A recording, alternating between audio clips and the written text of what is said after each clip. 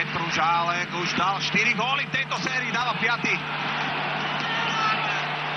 Neuveriteľne to začalo Petružálkovi padať v tejto sérii. Veľká škoda. Je to veľká škoda pre Slovan, lebo posledné dve striedania boli prakticky najlepšie z, celej, celého času odohratého a takáto, takáto by som povedal individuálna akcia, ktorá nevyzerala